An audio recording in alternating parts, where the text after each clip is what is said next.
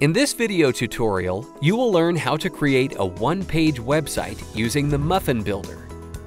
We have already created a simple page with four sections. 1. A welcome section. 2. An offer section.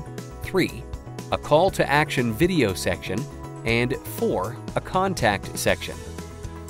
As you can see, the menu items only link to three of them. We will create a new one to scroll down to the contact section of this page. Let's begin by editing the current page. Click on the Edit Page link in the top bar. Scroll down below the Muffin Builder to the Page options. You need to have the One Page option enabled. Otherwise, the menu items will not link correctly to your sections. Once the option is set, edit the Contact section. In this case, this is the last section in the Muffin Builder. Insert an ID name inside the Custom ID field. You can use any name you want. Remember not to use empty spaces or special characters.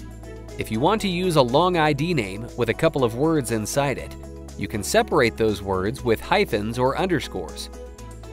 Now update the page to save the settings. The last thing to do is to set a custom link in the menu. To do this, Go to your WordPress admin Appearance and then click on Menus.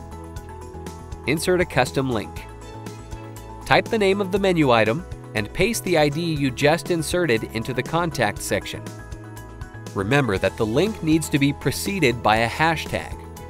Click on Add to Menu and then save the menu.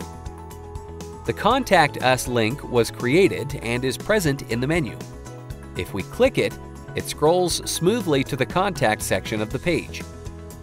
Thank you for watching, and as always, if you have any issues or questions, please visit our support center at support.muffingroup.com.